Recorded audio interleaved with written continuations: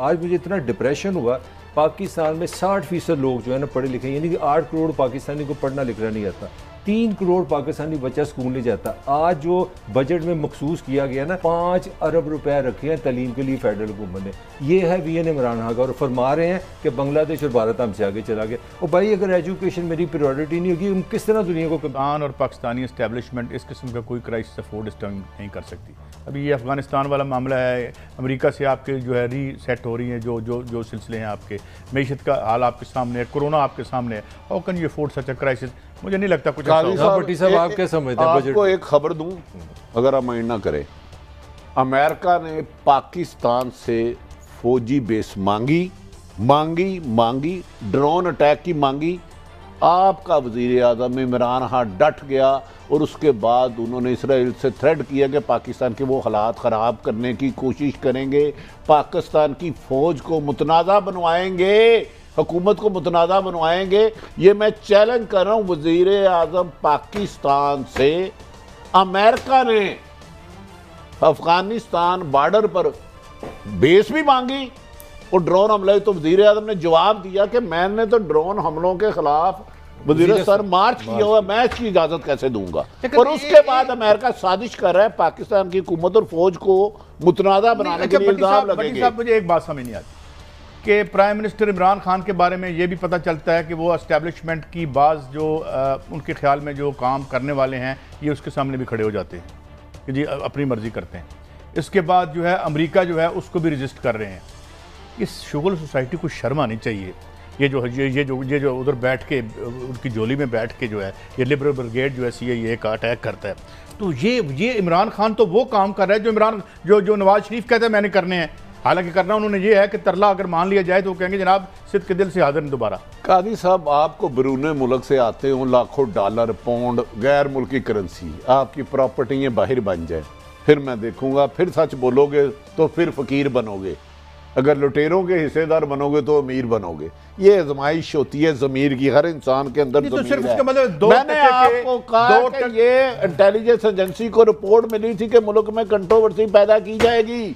मैं मलक साहब मेरी आप गुजारिश साहब आप आप मिलके हैं प्राइम मिनिस्टर से इसलिए हमारा हक है आपसे लोगों से नहीं इसी पे इसी पे है ये जो पोजीशन ली है ये तो पाकिस्तान में मैं ये नहीं कह रहा कि इंसल्ट कर रहा हूँ हमारी तो आदत है जी हमें तो एक टेलीफोन आता है तो हम डर जाते हैं। फोर्स किया गया। सऊदी अरब गए, उन्होंने भी फोर्स किया। उन्होंने कहा, नो, अमेरिका को कहो, अब वो करे। फलस्तीन पे जो हुआ, वो उसको हल करे, मकबूजा कश्मीर हल करे। ये बातें मैं आपको ईमानदारी से चार जगह से काउंटर चेक करके जर्नलिस्ट की ही ज़िम्मेदारी होती है ना, सुनी सुनाई बात की बजाय उसे काउंटर चेक करे। प्राइम मिनिस्टर ने वाशगाफ लफ्जों में रिफ्यूज किया है। और रिंग रोड में ऐसे ऐसे दो तीन मगरमच्छ हैं पीएम साहब ने उनको भी नहीं छोड़ना। ये भी मैं गारंटी दे रहा हूँ वो समझ रहे हैं कि फ़िलहाल बचे हैं।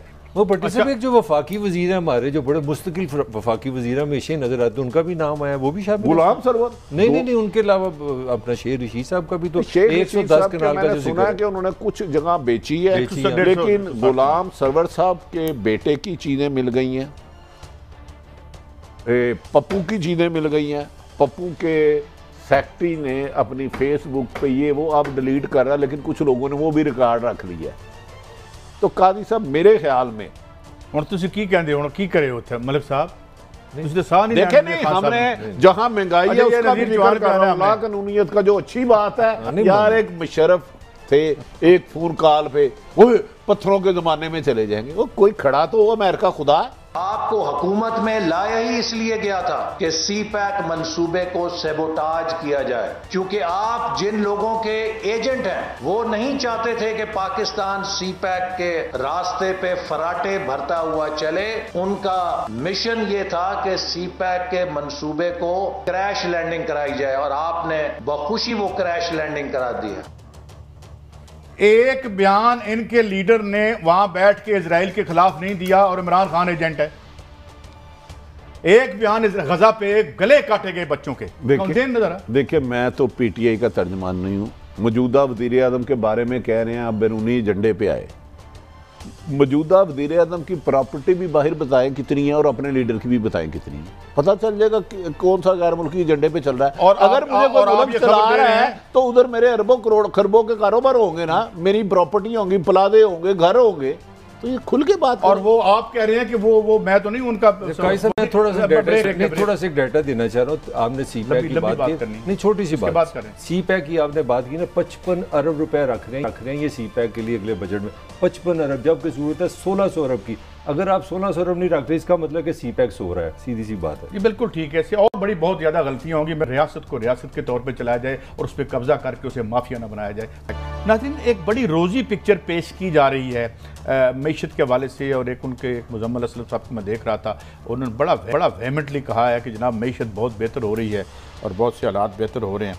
मगर क्या ये नीचे ट्रिकल डाउन हो रहा है या नहीं हो रहा है? एक तो ये हमारा मौजू होगा इसमें और साथ ही हम देखेंगे क्या सोशल मीडिया को रहन इन करने की कोशिशें हो रही हैं। सोशल मीडिया में भी एक सेंस ऑफ़ रिस्पॉन्सिबिलिटी हमें कुछ थोड़ी कमी नज़र आती है। जिसकी मर्ज़ी है, आप पगड़ी उछाल दें, ये भी बातें आ रही हैं। भट्टी साहब ये बात करते हैं, मलक साहब यही बात करते हैं। मलक साहब, पहले हम आ जाते हैं सोशल मीडिया पर सोशल खान साहब खान साहब ने कुछ कहा है, ये ये तो मीशत के बारे में उन्होंने बात की है। वो ज़रा सुनाएँ क्या है? ये जो इस वक्त ऑपोजिशन फिर ये पीडीएम इकट्ठी हो रही है फिर जा रही है फिर आ रही है वहाँ इनका जो मकसद है ना ये कभी कामयाब नहीं हो सकते। अगर इनका मकसद कौम के लिए हो तो अब तक जितनी मुश्किल हालात से कौम गुजरी है हमारे दो सालों में और मेरी ज़िंदगी के मुश्किल साल तो अब तक हमारी गवर्नमेंट गिरा चुके होते हैं। जी भट्टी साहब। देखें खान साहब का अपना ख्याल है कि माशियत बिल्कुल सही डायरेक्शन पे आ गई है जो सख्त वक्त तक गुजर गया है। यानी हम सही समत में जा रहे हैं वो। बहुत पुरुद है। अच्छा। पूरा मैं सौ फ़ीसद कह रहा हूँ। लेकिन मेरे ख्याल में काई साहब इकानमी मैं तब बेहतर कहूँगा जब आम ज़िंदगी को उसकी ज़िंदगी में आसानियाँ आनी शुरू हो जाएँ। तालीम सेहत रोज़गार सेहत का वो कहते हैं सात लाख। रुपए का कार्ड हमने दे रहे हैं हर मैं। इसको ये कह रहा हूँ। दूसरा सोशल मीडिया देखें शुतर बेमहाल नहीं होना चाहिए। मुझे कोई इख्तियार नहीं किसी की बहन बेटी माँ के बारे में जो मर्ज़ी अल्फाज इस्तेमाल कर दूँ यार। हमारा इधर बैठ के खुदा ना हास्ता किसी की तजलील करने का तो हक नहीं है। मैं इख्तलाफ कर सकता हूँ किसी से भी, लेकिन उसके अल्फाज बेहतर होने चाहिए। सोशल मीडिया पे लेकिन ये भी नहीं होना चाहिए कि जो आपसे इख्तलाफ करे, सिर्फ़ उन्हीं को बंद कर दो। कानून साजी करें, लेकिन कानून साजी राइट साइज़ होनी चाहिए। ये इंतकाम के लिए नहीं होनी चाहिए। सोशल मीडिया में कुछ मैं देखता हूँ, नहायत नामुनासब है। बहू बेटियों को बहनों का इज़्ज़त का भी ख्याल नहीं किया जाता। ये नहायत नामनासिब ये तो आपकी बात से कौन इनकार कर सकता है कि हमें जो जो मुहर्रमात हैं उनको कभी जेर बहस नहीं लेना लाना चाहिए। लेकिन ये है कि हर आदमी के राइट भी प्रोटेक्टेड होने चाहिए मलिक साहब। बिल्कुल। किसी का राइट इनवायलेबल राइट है। कि उसकी आज़ादी है, जो उसकी, वो भी उस पर भी अटैक नहीं होना चाहिए। मगर मेरा सवाल आपसे ये है कि जो खान साहब ये बात कर रहे हैं, मलिक साहब, कि ये इन्होंने मैं बहुत मुश्किल हालात से गुजरा हूँ। इन हालात में अगर इनमें दम होता तो मुझे गिरा लेते। बिल्कुल सही कह रहे हैं। मैं समझता हूँ कि अगर अपना इमरान खान साहब का सका भाई भी जैली अपोजिशन कर में आता ना तो इतनी अच्छी अपोजिशन नहीं मिल सकती थी जितनी, अगर आपको जरदारी और नवाज़ अपोजिशन में मिले तो लॉटरी नहीं है तो और क्या है? आपकी अपनी परफॉर्मेंस ज़रा सुन लें, ये कह रहे हैं इकॉनमी की बात कर रहे हैं। तेरह हज़ार अरब आपने कर्जा लिया है। मैं तीन साल की बात कर रहा हूँ। दस परसेंट आपकी महँगाई है। बड़ी मुख्तसर बात करूँगा।